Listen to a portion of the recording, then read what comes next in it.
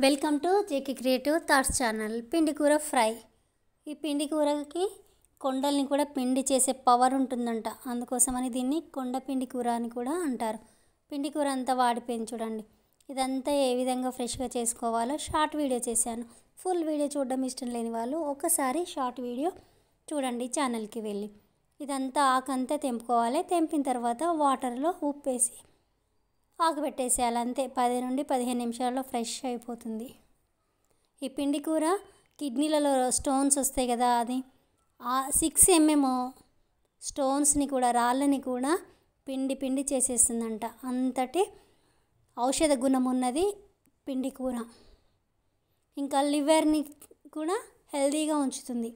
అంటే ఇప్పుడు అందరు మెడిసిన్స్ ఎక్కువగా మెడిసిన్ వాడుతున్నారు. జలుబు దగ్గర నుంచి మెడిసిన్సే కదా చిన్న జలుబు వచ్చినా కూడా.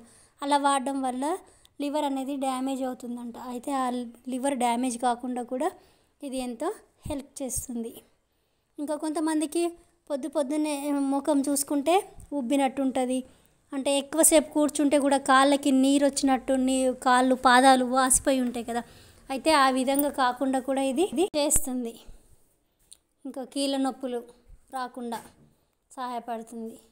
చూడండి ఇగో ఆకును వేసేసిన ఒక పది నుండి పదిహేను నిమిషాలు అట్లనే పెట్టేసిన అంతే ఫ్రెష్గా అయిపోయింది. ఈ ఆకురలనే కాదు కూరగాయలు కూడా వాడిపోయినట్టు అనిపిస్తే అట్లా వేసి చూడండి. వాడిపోవడం అంటే మామూలుగా వాడిపోవడం అంతేగాని ఖరాబ్ అయిన వాటిని దాంట్లో వేస్తే మాత్రం ఏమి కావు వేస్ట్ అవి పడేసేయాలి. చూడండి ఈ విధంగా పెట్టేస్తే ఫ్రెష్గా అప్పుడే ఆకుకూర చెట్టు నుండి తెంపినట్టుగా వచ్చేసింది. ఈ ఆకుకూర చాలా లాభాలు ఉన్నాయి కనీసం నెలకు ఒక్కసారైనా తింటూ ఉండాలి. ఇది ఊర్లలో అయితే ఎక్కువగా దొరుకుతుంది. అంతేకాదు ఇది ఆడవారి హెల్త్కి ఎంతో మంచిది. చూడండి ఫ్రెష్ అయిపోయింది.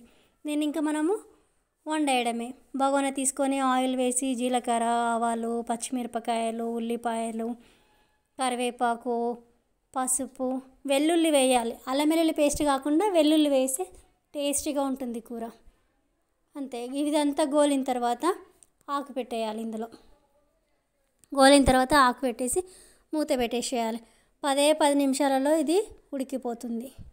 మూత తీసిన తర్వాత ఉప్పు వేయాలి చింతపండు వేసేసేయాలి. వేసిన తర్వాత ఇంకొంచెం సేపు అలానే స్టవ్ మీద పెట్టేసేయాలి. అంతే. టేస్టీ పిండి కూర ఫ్రై అనేది అయిపో రెడీ అయిపోతుంది. ఇది అన్నంలోకి బాగానే ఉంటుంది రొట్టెలోకి బాగానే ఉంటుంది చపాతీలోకి ఎందులోనైనా తినచ్చు. టేస్టీ టేస్టీ ఎమ్మి ఎమ్మి పిండి కూర రెడీ. పిండి కూర ఫ్రైతో JK creative thoughts channel. Thank you